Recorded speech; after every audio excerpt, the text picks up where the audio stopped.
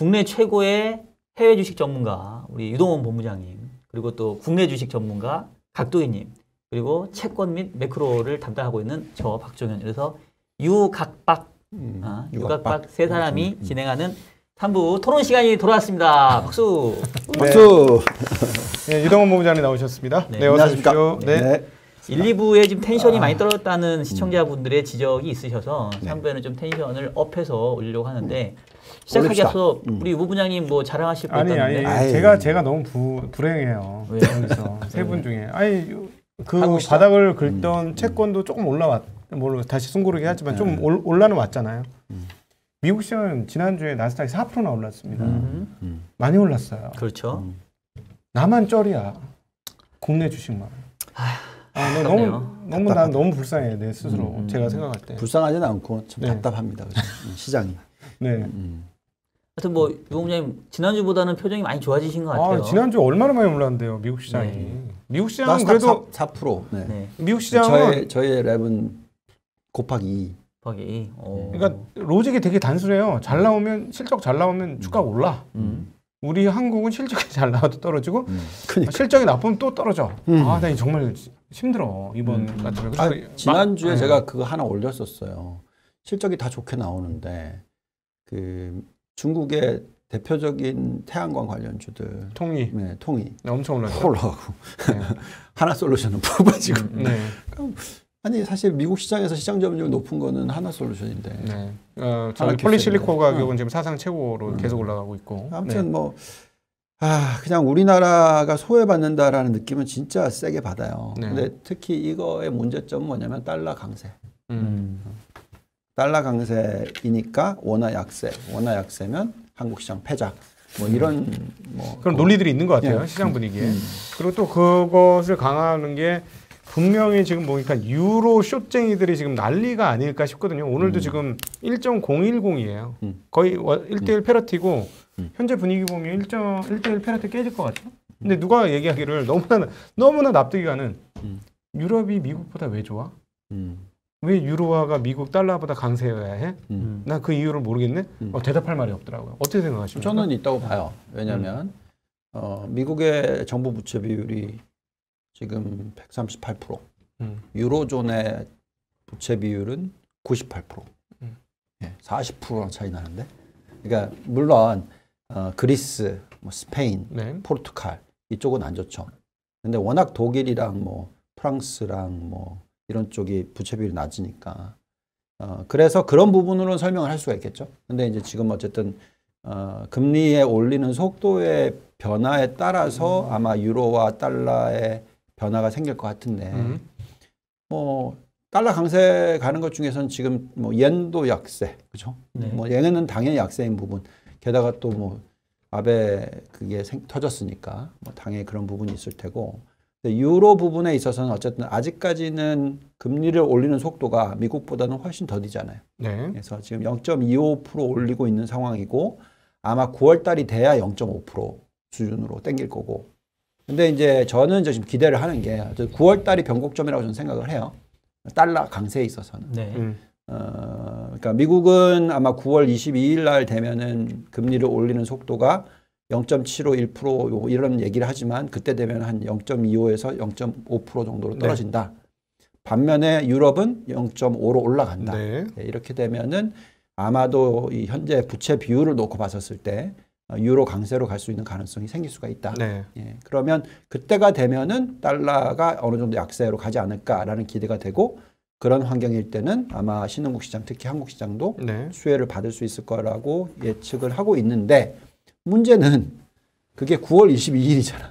네. 예, 그렇잖아요. 그래서 어, 7월 27일이 나, 먼저 있잖아요. 그렇죠. 예, 근데 7월 27일은 어쨌든 미국이 훨씬 더 금리를 빨리 올리고 음. 유럽은 금리를 뭐 올리는 속도가 0.25, 뭐 9월 달 돼야지 0.5라고 하니까 그러면 유로가 강세로 갈 이유가 별로 없잖아요. 네. 그때까지. 음, 그렇죠. 음. 그래서 문제점이겠죠. 그리고 사실은 음. 아까 이제 9월 얘기하셨는데 음, 뭐 지금 7월 초니까 9월까지는 두 달 남았고요. 음. 그리고 달러와 강세가 9월에 꺾인다 하더라도 음. 지금부터 9월까지 얼마나 올지 모르니까. 기다가 꺾이는 게 아니라 지금부터 9월까지 확 올라갔다가 꺾이면 그럼 어떻게 해? 어, 9월에 꺾인다는 말이 지금 전혀 위안이 안 되는 이런 음. 상황이 될 거고 제가 이제 주말에 저도 제 개인 유튜브가 있잖아요. 그래서 네네네. 주말에 이제 영상 올리면서 음. 달러 유로를 봤는데 음. 유로화 환율이 유로화가 출범한 게 1999년이에요. 네. 근데 그 당시에 음. 초창기에는 유로화가 자리를 못 잡아가지고 이제 참고로 환율 표시할 때 이제 유로화는 우리는 달러당 원화 표시하지만 유로화는 1유로당 달러 표시하잖아요. 네. 그때 1유로당 0.8달러까지인가 내려갔어요. 음. 초반에 자리 못 잡을 때. 음, 음, 네. 그랬던 게 이제 2008년도인가에 1.6까지 갔다가 그렇죠. 네. 지금 이제 그 이후에 처음으로 뭐 1대 1 1.2. 페어를 음. 지금 눈앞에 두고 있는데 네. 이게 이제 왜 중요하냐면 앞서 얘기했던 것처럼 각도님 얘기- 얘기하신 것처럼 음. 미국 시장은 그래도 지난주 선방했는데 한국 시장 계속 지지부진한 이유가 달러화 강세에 음. 큰 영향을 받는데 음. 그럼 결국 달러화의 강세에 언제 꺾일지는 또 유로화 약세가 언제 끝날지에 달려 있으니까 그렇죠. 그래서 네. 한국 시장에 상당히 중요하게 보는데 음. 지금 유럽 경제는 음. 기본적으로 에너지 가격이 너무 많이 올라 있잖아요. 음. 지금 음. 독일도 무역 수지가 적자로 갔어요. 그렇죠. 30 몇 년 만인 그렇죠. 네. 네. 근데 지금 우려되는 게 지금 가스관 잠, 잠궜나요 러시아가? 음. 뭐 어, 10일 동안 점검 네. 들어간다면서요. 음. 네, 점검 들어간다고 했습니다. 예, 네. 7월 뭐 중순 10, 10 며칠부터 들어간다고 했는데 그게 일단 테스트고 음. 다들 걱정하는 게 올 여름 올 겨울이 두렵다. 음. 그죠? 그렇죠. 러시아는 뭐 에너지 지급제로 간다고 얘기하잖아요. 그러니까 그러면 사실 어떻게 그럼 보면 골드만삭스 갑자기 생각나면 300달러. 어, 갑자기 그 얘기하면 그 생각 나네요. 네. 그러면 이제 아까 음. 유 본 부장님은 9월 달 되면은 음. 달러 강세가 좀 음. 주춤해질 수 있다. 즉 유로화 강세를 할수 있다라고 얘기하시는데 음. 9월이면 가을이거든. 네. 찬바람 불기 시작한단 말이에요. 음. 그럼 과연 그게 얼마나 의미 있게 음. 유로화가 강해지고 달러 약해질 거 가- 음, 우리가 그게 정답이 없잖아요. 음. 결국은 유럽의 어떤 자체적인 문제점이 생기는 건데 우리가 볼 수 있는 것은 어쨌든 유럽은 에너지 생산이 아니고 수입을 하는 국가이고 제가 아마 두 달 전인가 석달 전에 그 차트를 보여드리면서 우리가 어떤 식으로 투자를 해야 되냐 했었을 때 에너지 관련주를 투자를 할 때 있어서 어, 결국은 음, 수요는 유럽에서 있을 거고 공급은 미국에서 할 거고 그러니까 우리는 미국의 천연가스 수출국으로서의 어떤 투자를 해야 된다. 그러니까 결국은 지금 같은 장에서는 매크로를 가지고 투자하기가 상당히 어려웠기 때문에 그 매크로의 아이디어를 가지고 어, 결국 누가 수혜를 받는지, 누가 가격 경쟁력이 있는지, 누가 매출 증가율이 계속 일어나는지 이런 작업을 할 수밖에 없는 타이밍이죠. 음. 그래서 저는 어, 그때 이렇게 보여드렸어요. 독일 천연가스 관련돼서 그다음에 미국. 근데 어쨌든 결론적으로는 미국은 이제 수출국이고 예, 독일은 수입국이고 그러니까 확연하게 차이가 나니까 그러면 우리가 투자를 할 때 있어서 당연히 천연가스 수출국의 대표적인 종목을 사야 되는 거고 예, 독일 같은 경우에는 천연가스를 수입하는데 코스트가 엄청나게 올라갔잖아요. 그러면 독일의 입장에서는 독일 자체적으로는 음, 당연히 국가적으로 신재생 에너지 쪽에 투자를 더 많이 하겠죠. 그럼 그쪽에 천재생 에너지를 사야 되는 거고 독일의 뭐 바카캠이라든지 뭐 이런 회사들 보면 주가 흐름이 딱 지난 3개월 보시면 그게 딱 나와요. 우리는 이런 시장이 힘들다고는 얘기를 하고 있는데 우리가 해야 되는 운영하는 사람들의 입장에서는 이럴 때도 기회가 항상 만들어지니까 우리는 계속 공부를 해야죠. 음. 종목 선별을 해야죠. 자, 그러면 뭐 음. 사실 또 오늘은 너무 사이좋게 가니까 좀 썰렁한 것 같은 같아서 뭐 좀 싸움을 좀 붙여 보겠습니다. 아, 네, 네. 음. 그 지난주에 나스닥 한 4%대 올라가지고 조금 우리 유 본부장님 다시 또 조금 어깨에 힘들어갔은 듯한? 발언을 하시는데 음, 미국 시장 바닥을 봤다고 생각하시는 겁니까 지금? 음. 어, 저는 어쨌든 어, 우선은 뭐 많은 분들께서 베어마켓 랠리라고 생각하실 수도 있고 어, 그게 우- 지난주에 우리 얘기했던 L자 그러니까 L자가 나온다고 치면 어, 베어마켓 랠리이겠죠. 근데 이제 그 베어마켓 랠리가 아마도 연말까지 갈 수 있다라고 저는 생각하고 있고요.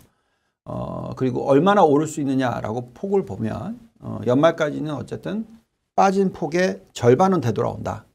그러면 20% 빠졌고 30% 빠졌으면 올라가는 폭도 최소 예, 20% 30% 올라온다. 그게 절반이잖아요, 딱. 그죠? 그 정도로 보고 있는데 그때까지는 저희는 어쨌든 롱으로 가져갈 거예요. 근데 연말 내년 초가 됐었을 때 또 판단을 내려야 되는 것은 경기 침체가 정말로 실질적으로 어, 명목상으로도 온 거냐, 오는 거냐.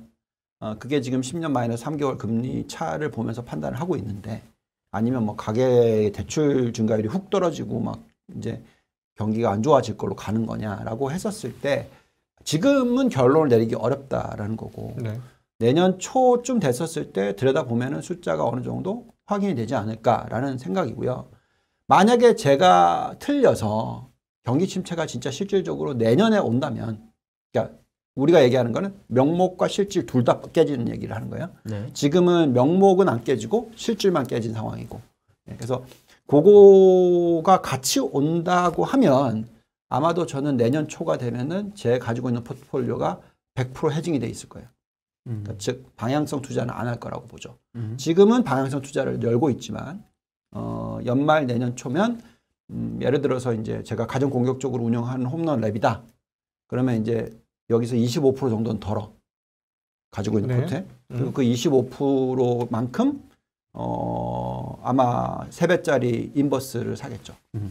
그거는 내년도 가서 다시 한번 네, 말씀을 근데 나눠보도록 지금은 하겠고, 예, 지금 지금은 저희는 어, 롱으로 지금 갖고 있고요. 예. 예 그러면 잠깐만 이제 지난주까지만 해도 제가 너무 많이 말을 해서 아니, 오늘 지금- 조금 쉬고 싶은데 아니 제가 말 각, 아니, 아니. 여쭤보려고 생각 아니, 아니 제가 지금 예. 박, 박, 에? 저한테 예. 아니 박 박사님한테 제가 궁금한 게 있는데 제가 네. 이제 그, 얘기- 그 얘기를 해야죠. CPI가 음. 내일 모레 8.8% 8.9% 나온다는데. 컨센이 음, 음, 자 이게 피크 아웃이냐 음. 네. 아니면 지난 6월 달까지 깜짝 놀랄 것이냐 일단 이거부터 좀 해결하고 넘어가야 될 것 같아요 이번 음. 주는 네. 네, 어떻게 보십니까? 아 어려운 질문을 저한테 던지시네.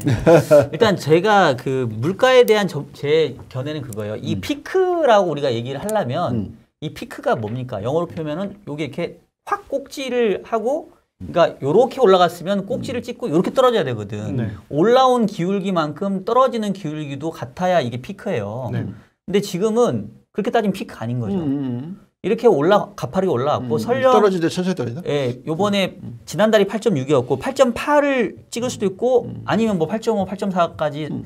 떨어질 수도 surprise하게 낮, 낮게 나올 수도 있어요. 근데 그러면 그 뒤로 음. 연말까지 같은 기울이 떨어지냐? 저는 그렇게 안 보거든요. 음. 당분간은 계속 8%대에서 그냥 노는 정도로 보기 음. 때문에 정말요? 일단은 물가는 피크라고 얘기하기가 좀 쉽지 않다. 음, 그냥 8%가 계속 연말까지 이어진다고요?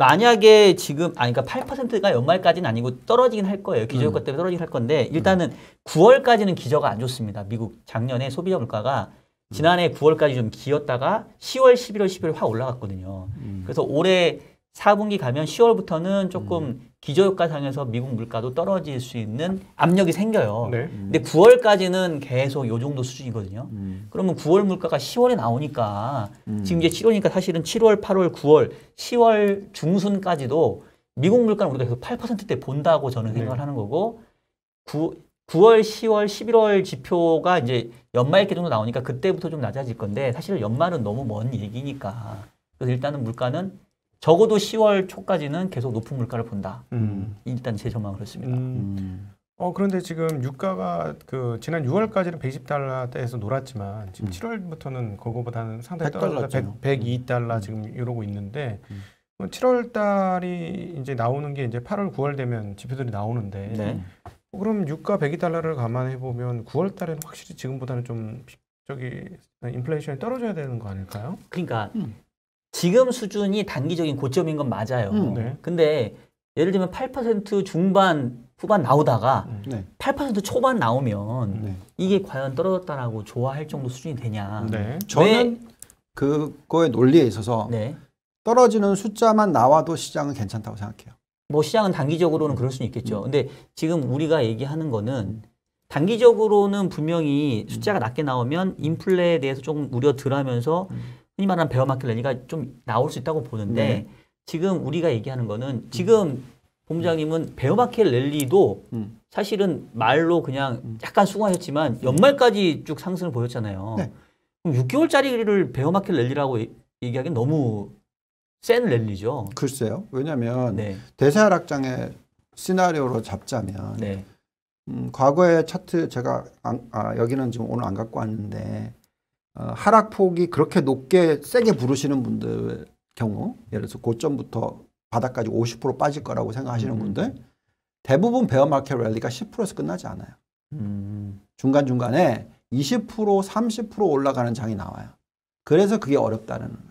자 그러면 음. 일단 베어마켓 랠리를 6개월 정도 본다는 견해. 근데 저는 베어마켓도 아니라고 생각해요. 저는. 아 그러면 사실상 그럼 바닥 봤다고 지금 보시는 저는 그렇게 거네요? 지금 투자를 하고 있어요. 지금 자 그러면 여기서 우리가 확인해야 될 부분이냐면 재고 지금 기록적 증가 뭐 음. 아크 인베스트도 그 얘기를 했고 음.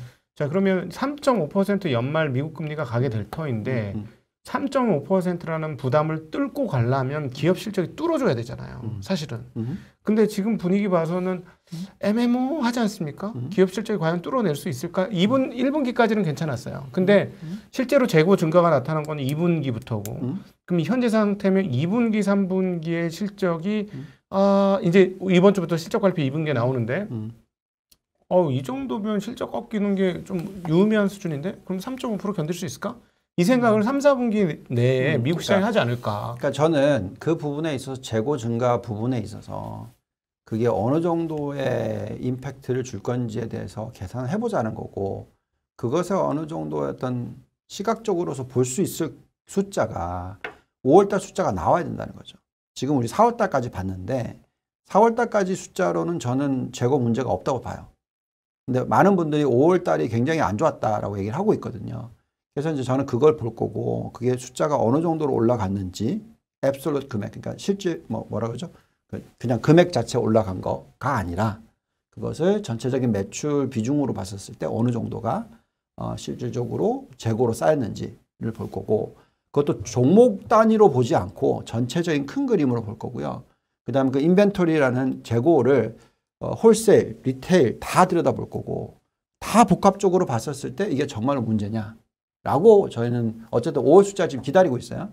그게 아마 제 기억으로는 17일 정도쯤 되면 나올 거라고 생각하는데 기다려서 보고 그때 판단을 하자는 거죠. 지금 판단하기엔 좀 너무 빨라요. 제가 생각할 때는. 예. 근데 만약에 각동이 말씀하신 대로 정말 이게 뭐 충격적인 인벤토리 빌드업이다. 음, 충격적인 재고가 쌓임이다. 매출 비중으로 놓고 봤었을 때뭐확 올라갔다. 만약 그렇다면 저 걱정하겠죠. 근데 지금은 어쨌든 차트상 4월까지 그어 보면은 이 추세선 아래에서 코로나19 때문에 훅 빠졌었고 이제 겨우 요 요 선의 근처 근처까지 와 있어요. 아직 뚫지 올라. 재고가. 예, 예. 그래서 저는 아직까지는 괜찮다 생각하거든요. 근데 말씀하신 대로 이게 확 올라갔다. 봐야죠. 예. 그러면 말씀하신 대로 마진이 많이 깨질 거예요. 네. 근데 그게 아니라 이 추세선에서 여기 올라와 있는데 이 추세선까지 닿는 순도까지 안 올라가면 그거는 마진이 안 깨져요. 네. 예, 그래서 그걸 보면서 판단하겠다라는 거고, 어, 어쨌든 기업 실적으로 저희가 분석해 본 결과는 아직까지는 안 깨지고 있어요, 숫자가. 즉, 기업들의 숫자가. 어, 만약에 숫자가 안 좋게 나오는 이유는 뭐냐면, 왜 그렇게 나오냐면, 달러 때문에. 음. 특히 대형 기술주 같은 경우에는 음. 전체 매출 비중 중에서 60%가 해외란 해외 말이죠. 매출이니까. 그러니까 훨씬 더 임팩트가 크고, 네. 그래서 지금 2, 4분기 숫자가 예상보다 덜 나올 수 있다라는 부분에 대해서는 인식을 해야 되겠죠. 음. 그게 시장에 반영이 됐다고 저희는 판단하고 있는 거고. 네. 오늘은 좀 조용히 있으려고 했는데 아 이게 입이 간지러서 안 되겠네. 네, 얘기하세요, 얘기하세요. 아니 사실 이제 음. 본부장님 말씀은 저는 조금 너무 낙관적이라는 생각이 들어요. 음, 음, 오케이, 왜냐하면 아직까지는 재고가 괜찮다는 말씀 음. 계속 계속 해주고 계시잖아요. 근데 어차피 재고는 음. 경기 사이클에 후행할 수밖에 없다고 네네네. 생각을 하거든요. 음. 지금 전반적으로 보면은 비용은 많이 올랐고 음. 그다음에 미국의 경기로 봤었을 때 음. 지금 실업률이 음. 지난주에 나온 것도 4% 이하잖아요. 3.6%. 3.6 3.6 나왔죠? 계속. 네. 그 얘기 뭐냐면 음. 이 고용 지표가 가장 후행하기 때문에 미국 실업률이 현재 3.6%라는 얘기는 역설적으로 얘기하면 지금이 경기 정점이라는 얘기예요. 음, 음. 좋다는 얘기죠. 네. 좋아요. 네. 지금이 좋다는 얘기예요. 그럼 음. 앞으로는 사실은 이보다 더 좋아지기는 어렵다는 어, 그렇죠. 거고 네. 지금 상태에서 전반적으로 금리가 상승하고 음. 물가가 물론 금리 상승에 낮아지긴 하겠지만 네. 우리가 스태그플레이션 얘기할 정도 높은 수준이 계속 있을 건데 음. 그럼 결국은 향후에 우리가 예상할 수밖에 없는 거는 실업률이 좀더 높아질 거고 음. 그에 따른 소비가 줄어들 거고 음. 그러면 그에 따라서 재고가 아직은 괜찮지만 이제는 안 좋아지는 레벨로 음. 가는 쪽으로 전망을 해야지 음. 아직은 괜찮으니까 계속 괜찮을 거다 음. 이거는 너무 나쁜 제가 그런 얘기가. 아니라 네. 기본적으로 지금 얘기하는 게 재고가 늘어나는 속도와 음. 실질적인 매출 증가율로 봤었을 때 문제냐 아니냐는 거예요. 그러니까 무슨 얘기냐면 매출 증가율이 일어나지 않는 데서 재고 증가율이 크게 올라가 버리면 그거는 마진에 영향을 크게 미친다는 얘기죠. 음. 근데 지금 현재 시점에서는 인플레이션이 높다라는 이유는 높은 건 뭐냐면 매출 증가율이 높게 나온다는 얘기예요. 아니 근데 그건 P 곱하기 Q 상에서 음. P는 높으니까 기여는 하는데 이게 아직은 Q가 받쳐주는 그런 상황이 있잖아요. 근데 네. 그러니까 지금 말씀하신 대로 Q가 안 받쳐질 수 있다는 얘기잖아요, 사실은. 그러니까 그걸 얘기하는 거는 음. 결국은 지금 어닝플로먼트가 레깅 사이클이라고 얘기를 하시는 건데 임금 상승률은 레깅 사이클이 아니에요. 그죠? 예. 임금 상승률은 지금 5%대가 계속 나오고 있잖아요. 그죠? 그러면 소비를 일으킬 수 있는 캐파가 매, 매 분기마다 매 달마다 5%씩 늘릴 수 있는 캐파가 있다라고 생각을 하고 상대적으로 재고가 얼마나 쌓이는지 그리고 가격을 얼마나 떨어뜨려야지 그게 풀리는지 그걸 계산을 해야죠. 그냥 무작정 뭐 안 팔릴 거다. 그건 아니죠. 어닝포먼트가 계속 올라가는 것도 아니고 그럼 3.6% 계속 유지가 되면 어떡할 건데. 그러니까 정점이라고 얘기를 하시는데 네네. 네, 그렇잖아요. 그러니까 그거를 자꾸 저는 시각적으로 많은 분들이 이미 벌써 결론을 다 내려놨어. 음. 다들 경기 침체 일어났다. 그죠? 앞으로 재고 많이 쌓일 거다. 그러니 기업 실적 다 깨질 거다. 음. 그거를 지금 다 얘기를 하면서 반영을 하고 주가를 때리고 있잖아요. 네. 그러니까 제가 말하는 건 이미 그거는 반영이 됐다라는 난 차원에서 들여다보는 것 뿐이고 근데 그 숫자가 나왔었을 때 그걸 반영을 하는 게 아니면 오히려 훨씬 더 괜찮은 숫자가 나온다면 음. 그건 또 올라갈 수 있다라는 거죠. 근데 그게 아니라면 음. 올라가는 폭이 한정적일 수 있는 거고 L자가 나올 수도 있는 거고 그래서 저는 이미 벌써 L자가 나오는 정도의 주가 하락은 이미 일어났다라고 저는 판단하는 거일 뿐이라는 거지 네. 뭐 무조건 낙관적이다 이게 아니고요. 그렇기 때문에 저희는 종목 선별이 중요하다는 얘기를 하는 거고 음. 그 가격 전가를 할 수 있다면 마진을 버티기를 할 수 있는 종목들이 있다라는 게그 네. 네. 얘기예요. 음.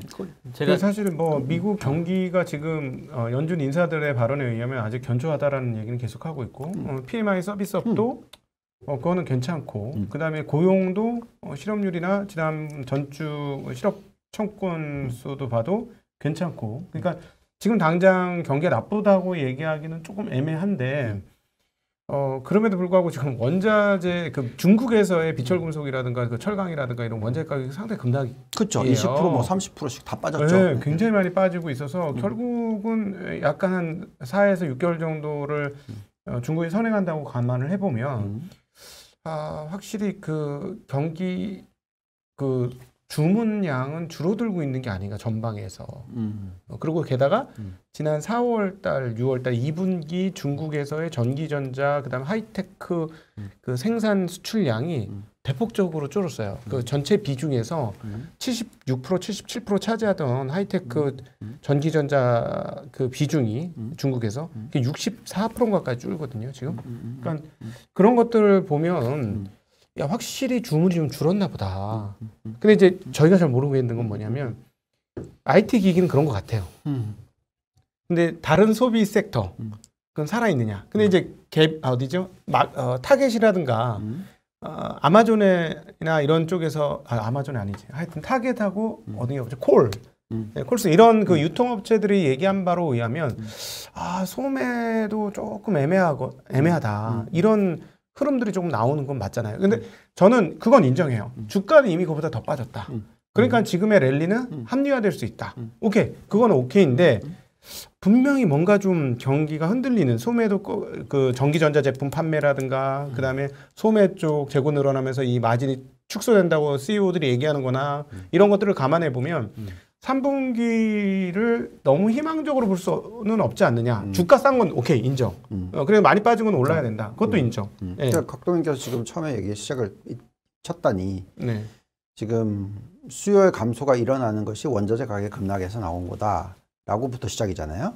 근데 저는 어떻게 생각하냐면 올해 상반기에 원자재 가격이 너무 미친 듯이 올랐다. 음. 음? 그건 맞죠. 예, 그건 수요와 상관이 없는 상황에서의 오름의 빠짐이다. 음. 라고 저는 거기서부터 시작이고요. 음. 그러면 은 결국은 수요가 꺾였느냐 하는 부분에 있어서 얼마나 꺾였냐 하는 부분은 결국은 소비를 해낼 수 있는 캐파가 어느 정도 되느냐. 음. 근데 일시적으로 당연히 개솔린 가격이 5달러, 6달러 이렇게 음. 올라가 버리면 미국의 입장에서는 그렇지. 당연히 소비가 그건 못 사지. 못 사면 못 예, 사죠. 차, 차, 차 예, 타고 다녀야 근데. 최근에 네. 개솔린 가격이 4달러 수준으로 또 떨어지고 있다. 이런 얘기가 나오고 있잖아요. 지금 그러니까, 4. 오, 그러니까 5달러 밑으로 떨어지기 시작했다. 4.5를 향해 가고 있습니다. 예, 그러니까. 예. 그리고 그게 더 떨어지면 더 떨어졌지 더 올라갈 것 같지는 않다고 저는 개인적으로 생각해요. 물론 뭐 걱정하시는 것이 이제 겨울이 오고 가을철이 오고 그러면서 수요가 엄청나게 늘어나고 뭐 어, 그러면은 이게 공급이 문제가 있다라고 얘기를 하지만 지금 미국의 공급량이 늘어나고 있는 속도를 봤었을 때 충분히 유가가 저렇게 안정을 찾고 있는 부분이 이유가 만들어지고 있는 거라 생각하기 때문에 만약에 그러면 에너지에 쓰여지는 돈 부분이 훨씬 적어진다면 네. 적어도 2분기보다는 네. 3분기, 4분기가 훨씬 적어진다고 생각한다면 그 여유를 가지고 추가적인 다른 소비를 할 수 있는 룸이 생길 거다라는 생각인데 근데 중요한 것은 이것을 판단하는 것 중에 제가 헷갈리는 부분은 개인들이 네. 어, 실질적으로 대출을 일으켜 가지고 소비를 할 거냐 음. 과거처럼 네. 아니면 그냥 아예, 아예 우리 몰라 아, 그 금리가 너무 높아서 만만치 않을 것 같은데요. 그러니까 그, 그거를 부분은? 봐야 된다는 거죠. 네. 근데 금리가 너무 높다라는 개념이 도대체 어느 정도가 너무 높냐 이거죠. 음. 저희가 말하기에는 자 과거의 금리가 예를 들어서 2007, 8년도의 금리 수준이면 거의 뭐 6% 수준까지였잖아요. 그 이후에 떨어졌을 때가 3% 수준이에요. 지금 3% 수준이잖아요. 그죠? 여기에 어, 주택 부분까지 더했었을 때 정말 많이 올라갔을 때가 거의 6% 가까이 6%, 올라갔고 네. 지금 5%로 떨어졌어요. 네. 예. 그러면 어느 정도 감당 가능냐 했었을 때 임금 상승률이 지금처럼 5% 이상대가 오랫동안 유지된 적이 없잖아요. 네. 그러면 그 정도의 5% 정도의 임금 상승률이면 네. 어, 저희는 이게 감당 가능한 게 아니냐. 네. 그래서 지금은 확인해야 될 숫자들이 너무 많다라는 거죠. 음. 주가는 이미 떨어뜨려 놨고 그러면 이걸 파- 확인을 하면서 투자를 하자는 얘기고 네. 어, 시간이 좀 걸릴 수는 있겠죠. 네. 근데 그 음. 중요한 포인트 중에 하나가 지금 말씀하신 건데 제가 지금 좀 의문인 게 저도 바라고 있는데 잘안 음. 되는 게 음. WTI는 빠졌어요. 음. WTI 빠지고 근데 그 휘발유가가 사실 결정타잖아요. 미국은 음? 휘발유가가 떨어져야 생산을 딴 데로 아니 소비를 딴 데로 돌릴 수 있는 거 아닙니까? 음. 일반인들이. 네. 근데 지금 가동률 정제 시설 가동률 capacity 음. full capa거든. 95% 94% 음, 음. 이렇게 나와요. 음. 근데 이걸 뒤집어서 보면 무슨 말이냐면 음. 아 얘네 정제 설비를 아예 안 했구나 그동안에. 음, 음, 예, 아예 안 했어. 음, 음. 그러면 뒤집어서 또 다시 생각을 해 보면 음. 굉장히 느린 속도로 음. 휘발유가 떨어지겠구나. 오케이. 아니 이 정도가 그럼 갤런당 5달러 이상이면 음. 그냥 돈을 긁어 모으는 수준 아닐까 싶은데 음, 음, 정유회사들이 왜 도대체 생산을 안 하는 거야 하는데 음. full capa 돌리고 있는데도 아주 느리게 아, 뭐 음, 그러니까 그래도 영- full capa를 돌리는 거는 네 현재 상존하는 rig count로 했었을 때 full capa고 그러니까 네. 그 부분에서 그- 또 그- 의문이 음, 음. rig가 안 늘어요. 음, 안 늘고 있는데 네. 늘리려고 해야 되는데 네. 실질적으로 얘네들이 지금 happy하거든. 네. 아니 아니 돈을 아니 지금 rig 더 돌려서 돈, 더 많이 생산하면 계속 happy할 건데 더 많이 happy할 건데 그러니까 그렇게 아니 나오는데 과, 거 같으면 작년 같으면 음. 아 작- 작년이란다 지난번 유가 높았을 때는 1,600개까지 갔었는데 예 지금은 600개 정도 수준밖에 안 된다는. 그러니까요 제 말이 1,000개가 없다라는 거죠. 네. 근데 물론 그건 둘 중에 하나겠지. 음. 하나는 설비 투자를 안, 해, 안 해서 그 음. rig가 안 돌아가고 있는 거고 네. 그걸 돌아가게 만들려면 돈을 투자를 해야 되고 사람을 집어 넣어야 되고 하니까 음. 비용이 늘어나는 거니까 음. 이걸 했다가 나중에 어 진짜 이제 석유의 수요가 전기차로 다 전환되면 확 줄어들 텐데 그럼 이거 음. 캐파 늘려놨다가 나중에 어떻게 할까 이런 그렇지. 고민을 할 수가 있을 거고 그게 음. 아니라 일부러 아예 안 하는 부분도 있을 거고 그죠 가격을 그- 높게 계속 유지하려고 음. 그러니까 그거에 대해서 바이든이 너네 단합하냐 세금 때린다 뭐 이렇게 나오는 거고 네, 그때부터 떨어지긴 네, 네, 했어요. 그렇죠. 그래서 네. 그 반반이라는 거죠. 음. 예, 그래서 저는 근데 사실 생각해 보면 천 개? 이건 좀 너무 심하잖아. 음. 어, 그건 분명히 어느 정도는 리그 음. 카운트를 늘릴 수 있는 룸이 있을 거라는 생각인 거죠. 네. 그러니까 그게 저는 ESG의 역설 그거 그렇죠. 내지는 네. 폐해 같은 느낌. 음. 어차피 물론 친환경으로 가야 되는 건 맞는데 음. 왜안 늘리겠어요? 뭐 음. 단합한다? 제가 봤을 때는 그런 단합은 이루어지기 힘든 게 내가 시설 투자해가지고 내가 돈 벌 것 같으면 음. 하지. 음. 지금은 음. 어떻게 보면은 아까 얘기했던 것처럼 음. 내가 시설 투자 잔뜩 늘려놨는데 음. 잠깐 좋고 음. 향후에 이제 뭐 전기차로 가고 뭐 음. 아예 그쪽으로는 여- 제가 알기로는 이제 많이 뭐 보조금도 지급이 안 되고 있고 음. 이래서 사실은 좀 구조적인 문제를 생각하는데 네. 그래서 이제 지금 음. 이제 저하고 지금 본부장님하고 약간 그 출발점 상에서 좀 다른 건 그거 같아. 음. 그러니까 저도 지금 주가가 거의 고점 대비 30% 조정 받았잖아요. 음, 음. 그러니까 과거에 뭐 한 10번 중에 보면은 7, 8번은 음. 지금이 바닥이었거든요. 네. 그래서 지금은 약간 upside potential을 보는 게 합리적일 수 있는데 음. 제가 계속 찝찝하고 두려운 거는 음. 한두 번은 30%가 아니라 50%까지 와장창 음. 절반이 부러지더라. 음. 혹시나 그게 나올까봐 저는 이제 그 부분에 대해서 고민을 하는 거고. 그러니까 저는 그 마찬가지 고민을 하는데 예, 아니, 그러니까 제가 요, 요 말씀을 음, 드릴게요. 근데 이제 그 그러면 한두 번에 두세 번의 경우에 50%까지 조정받았던 때가 뭐였냐라고 음. 보면은 제가 생각하는 거는 음. 쓸데없이 그러니까 경기 여건보다 금리를 과하게 높이 올릴 때 음. 그러니까 제가 계속 얘기했던 오버킬의 가능성을 얘기하는 거거든요. 근데 그 오버킬의 금리 수준은 절대 금리 수준이 아니에요. 지금 아까 본부장님 얘기하실 때 7, 80년대는 6% 갔지 않냐라는데 그 당시에는 성장률이 높았으니까 6% 금리가 소화가 된 거고 지금은 잠재성 그러니까 그 오버킬의 수준은 3.5만 돼도 오버킬이 될 수 있다. 그렇죠. 네. 그러니까 지금 그러니까 오버킬의 기준은 음. 현재 잠재 성장률 수준 대비 금리가 버틸 수 있냐 이게 이 부분이거든요. 근데 7, 80년대의 6%대의 금리 수준이 7, 제가 봤을 80년대는 때는 없- 지금은 저는 지금 7, 80년대 얘기하는 게 아니에요. 아니, 그러니까- 2007, 8년 얘기하는 거고 2000년대를 얘기하는 겁니다. 아, 네. 2000년, 어, 2000년대만 하더라도 음. 그 당시하고 지금하고 잠재 성장률이 또 더 많이 떨어져 있거든요. 그러니까 저는 2008년도에 정확히 미국 기준금리가 5.25가 갔어요. 음, 음. 지금 5.25 가면 다 죽지. 음, 당연하죠. 네. 그 당시에 5.25가 저는 체감적으로 지금 한 3% 중반이면 음. 그때 5.25랑 비슷한 정도의 상당히 경기에 부담을 주는 수준이라고 생각을 하거든요. 저도 마찬가지로 네. 계속 얘기하고 있잖아요. 미국 10년 국채 금리가 3에서 3.5% 박스권을 앞으로 3년 정도는 유지할 거다. 음. 그거 이상 올라가면은 다 죽는다. 그 얘기하고 있고. 그럼 미연준이 바보가 아닌 이상 그걸 알고 있을 테고. 그렇게 저는 생각하고 있는데 그럼 이제 인플레이션 부분에 대한 고민을 하는 건데 음, 음. 그러니까 저희는 어, 상당히 고민을 많이 하는 부분이 뭐냐면 이렇게 매크로에 대해서 의견이 분분해.